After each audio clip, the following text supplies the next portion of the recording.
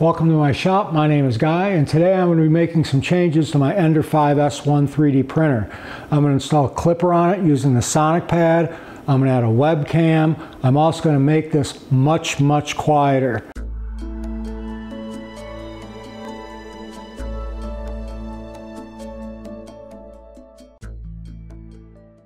So this is a pretty much stock Ender 5 S1.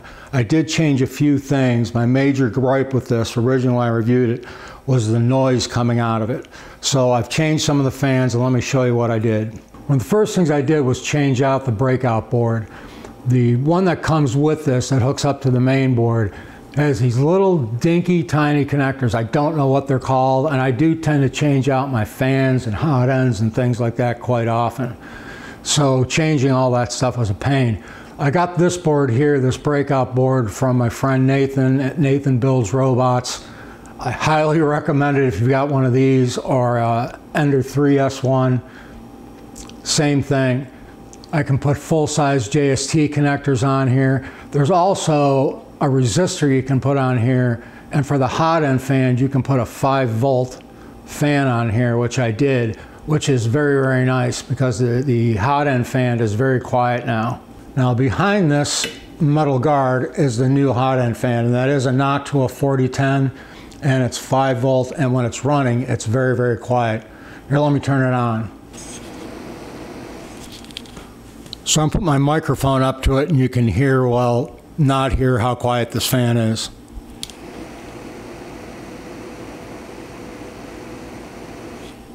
Quite an improvement over the stock fan.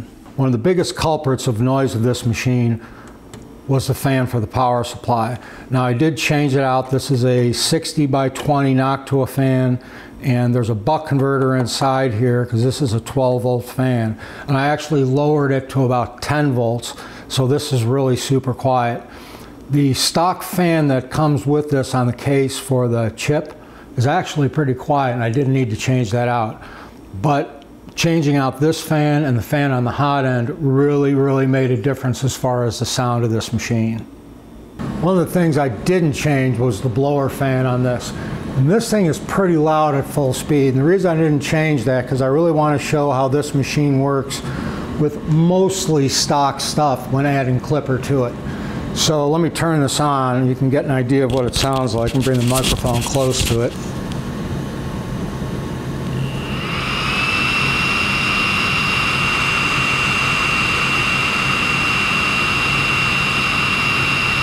Now I might be changing this out eventually for two 50-15 fans and get some quieter ones.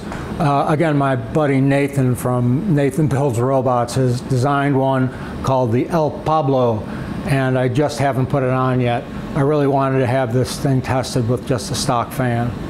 Now another very obvious thing I did was I got rid of that black PC build plate this came with and I had one of these sitting around which is a regular textured PEI sheet.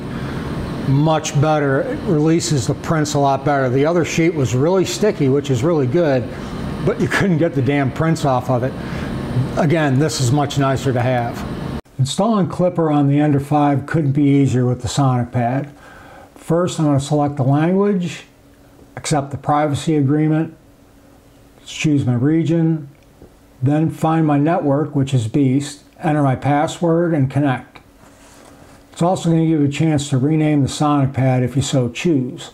Select the printer, in this case the Ender 5S1. I'm going to insert the SD card. I'm going to write the firmware to the SD card. I'm going to take that SD card out and put it into the machine. I'm going to power the printer on. Then I'm going to connect the printer's USB cable to the Sonic Pad and it's going to run a self-test after it connects. Then it's going to want to run a z-axis calibration and bed leveling. So heat the bed first, then go through the auto level, then accept it. And that's it. Everything is installed. Now I want to configure the input shaper or resonance testing. The first thing to do is to take the cable and plug it into the back of the sonic pad.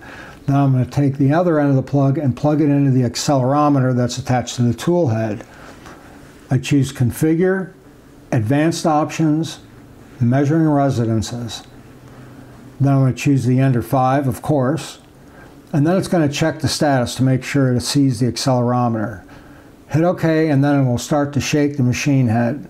It's going to start vibrating the X, then the Y. And when it's done, just accept it, save it, and then it'll restart and you're done.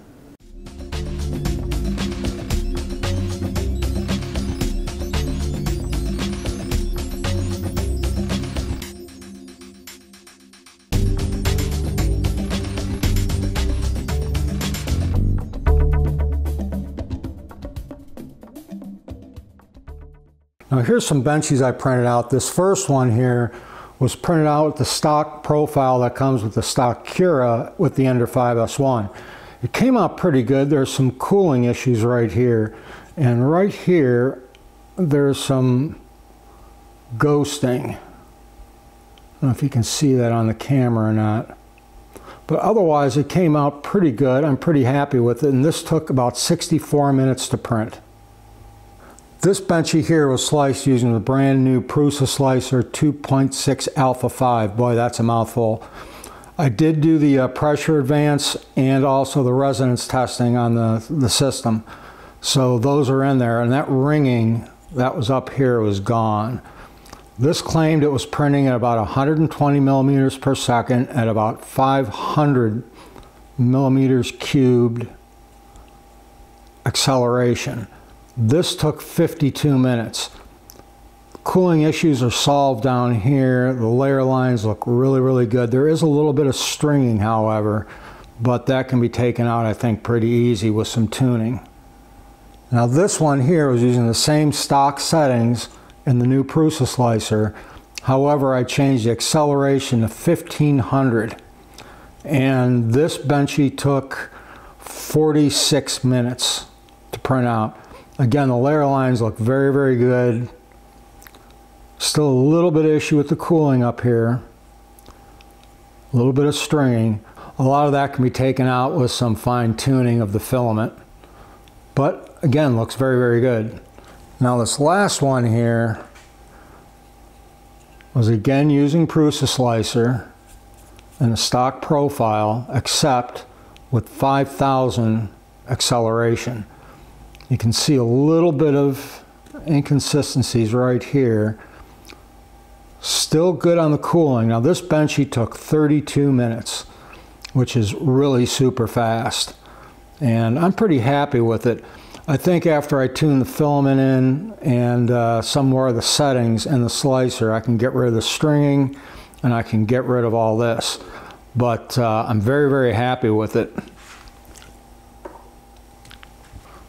So adding Klipper to this machine and setting the resonance and also the pressure advance really made a big difference in these benchies.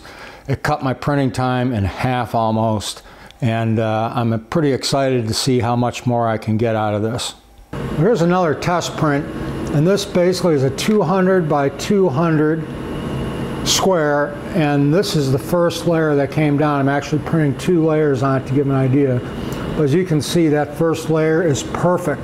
Speaking of perfect first layer, you should check out my new podcast that I do with Nathan from Nathan Builds Robots and JJ Shankles, now available on Apple Podcasts. I'll leave a link in the description down below. Really good listen. Subscribe to it. Another thing I can add because I'm going to be putting a sonic pad on this is a USB camera. I want to mount it right here and I printed out this mount for it and a couple drop-in nuts and I'll just screw right into this.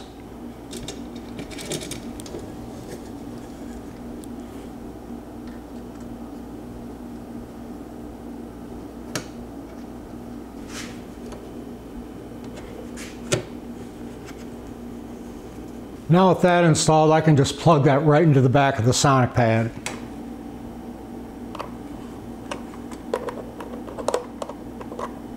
So with that plugged in, I can just go here, go camera, and there's my camera. You also have the ability to do time lapse on this, which is pretty cool. I haven't tried it out yet, but I will. Another cool thing I can do with that cam, because this machine I think is going to live out here in the garage, is I can do it right from an app on my phone or I can view it from the interface on the web interface for the computer. Another thing that's a little annoying is this pad itself. Now I love the big screen on it. It's very bright, it's very easy to read, especially for an old dude like me. But I'm constantly moving around, there's wires all over the place. I really don't like that. So I found these, and these I got from uh, the Aurora Tech channel, did a video on this also. And this is the print that they came up with. And this just replaces the feet in the back and then drops into here. So I'm going to be mounting this to that.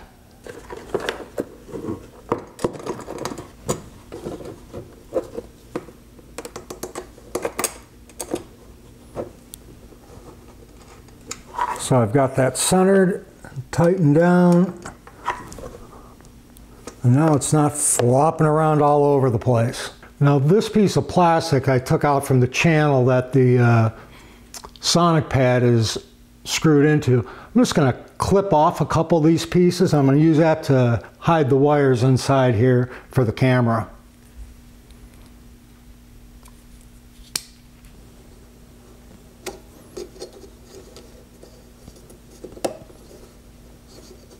So I've got those wires tucked up behind here now.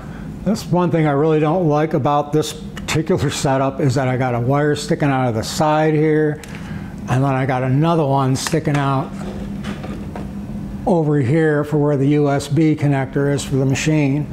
So no matter what, I've still got stuff sticking out of the sides, which again, really doesn't thrill me very much but it is what it is. So here's the machine with all the upgrades I did. I really am happy I have the Sonic Pad with Klipper on this machine. Um, just using the stock Prusa slicer settings and changing the acceleration to 5,000 really made a huge difference. This machine is a lot faster now and it prints really, really well. I just have to tune it a little bit to get rid of the stringing. But other than that, very, very nice. The machine's a lot quieter now I changed out the fans. That breakout board from my buddy Nathan at Nathan Builds Robots was huge. Um, the hot end fan and the fan for the power supply are changed out. And now that I have the camera, I think I can leave this machine out in the garage with a, a cover over it and print out here so it's not my office making a lot of noise.